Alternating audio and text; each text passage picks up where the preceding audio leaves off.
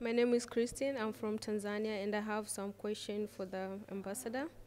Uh, one of them is um, the concept of spend money to make money. How will it help in tourism industry, basically in Tanzania and Africa in general?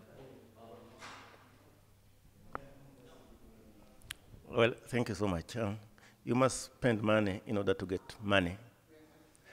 In respect of, of tourism, uh, as I have indicated, in ITB Berlin, one of the most premier uh, tour shows in the world, Tanzania is being represented by more than 100 companies and more than 200 people attending uh, this show uh, from Tanzania.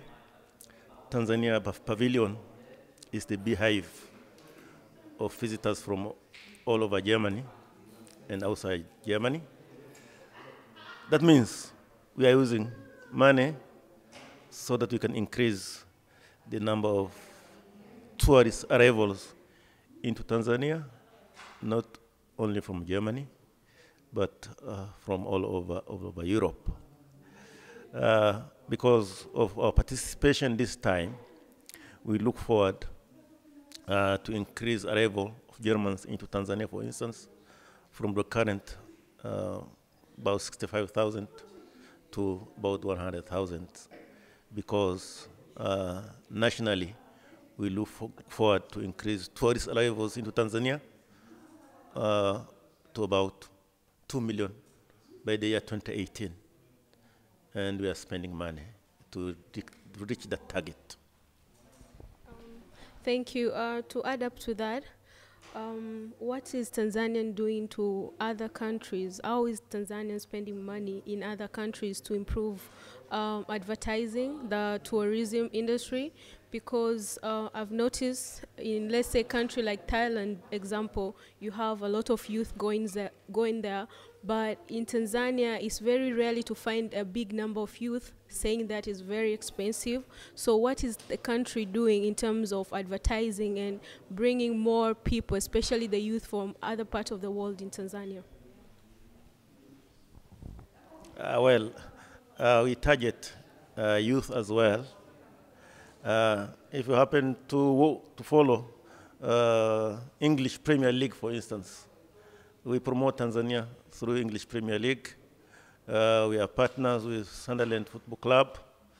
Uh, we are partners with, with, with Barclays uh, to advertise Tanzania uh, during the uh, Premier Leagues in, in, in the UK.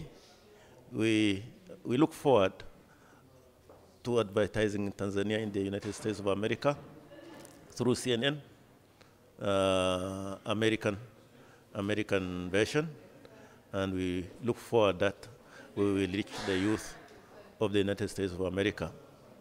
In, in Europe and in Germany in particular, we have so many uh, programs for youth. Uh, Tanzania is the, one of the, one of the few countries which promote uh, voluntarism as part of tourism.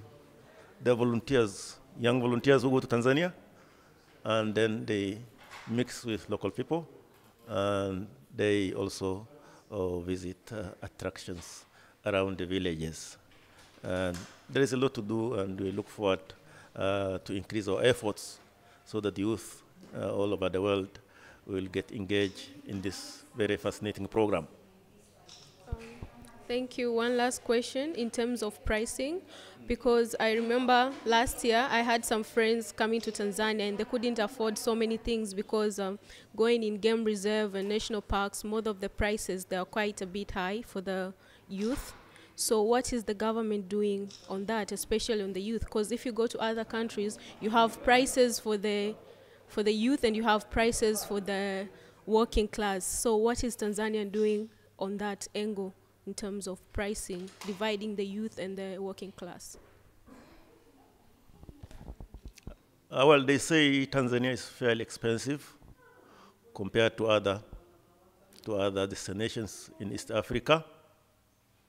But let's not forget that Tanzania has the best product. Uh, you can never find uh, Serengeti. Uh, millions of animals wandering in the in the space of land the size of the Republic of Ireland. Uh, you cannot find the highest mountains. Uh, single standing mountain, the roof of Africa, snow capped in the tropics like Kilimanjaro. And of course, uh, the beautiful beaches of Zanzibar. These are the, the best, best, best uh, products in tourism uh, sector, and that's why they are, they are fairly expensive, and our policy is not really in, in numbers. We, we look at quality tourism, and because we have the policy of, of environment conservation, we also take care of conservation, and by that we restrict the number of tourists. So, coming now to your to your questions, uh, there are there are some exceptions. We make exceptions. For instance, even within the tourism uh, destination in Tanzania, the prices are different. Uh, in the north, prices are a bit high, but in the south and in the west, prices are low because those are not well-known uh, destinations, but also very beautiful. But we can also make exemptions for young people who go there as volunteers, those who go there as uh, researchers, and we can also make exception of youth generally who they go there as group, and uh, that can be uh, done through our tourist offices in our embassies in, here in Berlin, in London, in Rome, and elsewhere. Um, adding to that, maybe they make exception because of the uniqueness of Tanzania, but you have Nairobi and Uganda, tourists using Nairobi, going to Nairobi, and still coming from Nairobi to Tanzania. So basically, they put prices that which are cheap in Nairobi, but which enables them to come to Tanzania. Don't you think that kind of affects our economy in a way because another country is benefiting more than us while we are the ones having the uniqueness of tourism? Well, if I get well, uh, uh, in East Africa, we may share, we may share uh, similar uh, or similar destinations, uh, but mind you, we have different policies. As I indicated earlier, our policy is not, uh, is not numbers.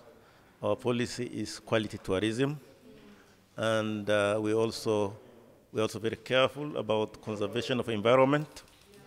And that's why, that's why it may be cheaper, maybe to go to a national park in Kenya, but fairly expensive to go national park in Tanzania because of this difference of conservation policies, uh, uh, difference in, in, in, in, in national uh, uh cultural policies, as well as concerns about security.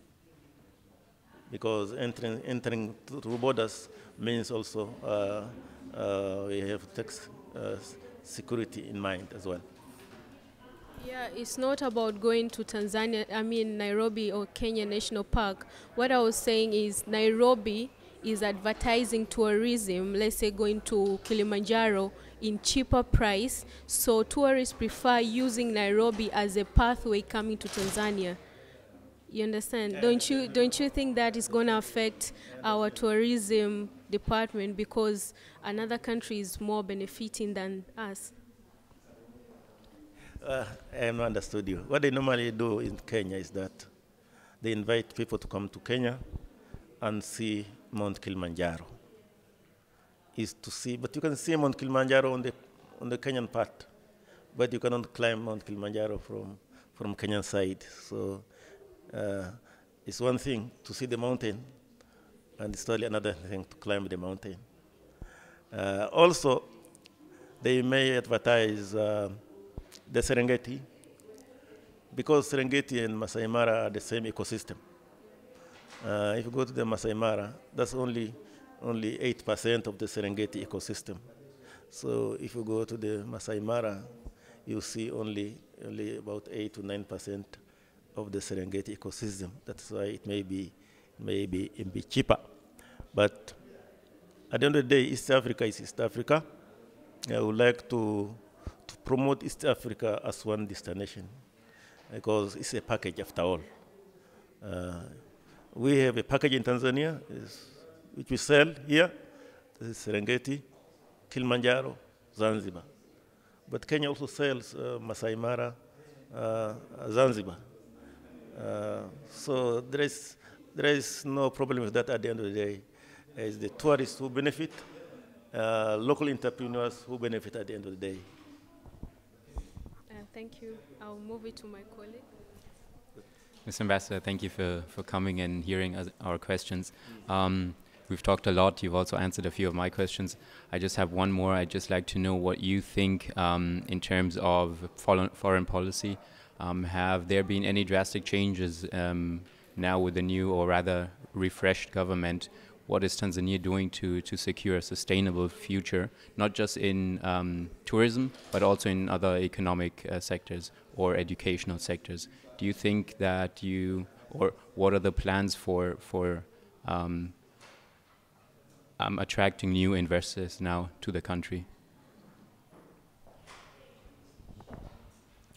Thank you. I hope what you mean is the, the, the, the, the new president yeah. who has just uh, taken up the, the mandate uh, to rule the country. Indeed, uh, the general elections doesn't mean change in policies, particularly as far as uh, investment policies are concerned. Actually, uh, I mean, uh, with the with the coming of the new government and uh, new president, with vigor and uh, more efforts to promote good governance, I think it's more easier now for investors to come to Tanzania. What has changed actually is, uh, is the promotion of good governance, uh, uh, fight against corruption, uh, fight against, against slow moving of things in the, government system. Uh, this is an advantage to an investor. And uh, Tanzania has remained and will remain an investor-friendly uh, country. And as you know, Tanzania uh, has abundance in natural resources. As I mentioned earlier, uh, tourism attractions, we, have, uh, we are rich in minerals, gold, diamonds, coal. Uh, we are now exploiting natural gas and petroleum. So, uh, uh what's what's going to to happen uh, within the circles of the new government? I think is to now, is now to chart out how to make use of the money which will be accrued uh, through the exploitation of natural resources. And we look forward that more funds and will now be directed to the infrastructure, uh, particularly railways, uh, roads, and ports. As we know, uh, uh, we are now constructing a new railway line alongside the old German Central Railway line. We are upgrading uh, our old ports like Dar es Salaam, Mtwara, and Tanga, and we are also uh, constructing a multi-billion uh, uh, standard of the art new port in Bagamoyo, 50 kilometers, 50 kilometers north of Dar es Salaam, that will cater specifically for uh, goods from Central Africa, as well as going goods destined for Central Africa, that's DRC Congo, Rwanda, Burundi, Zambia, and parts of, of Uganda. Uh, uh, we are on the we are we are on the right track because uh, we are at peace with ourselves. We are also at peace with our neighbors, and that's why uh, Tanzania remains a gateway uh, to Central Africa and East Africa as well.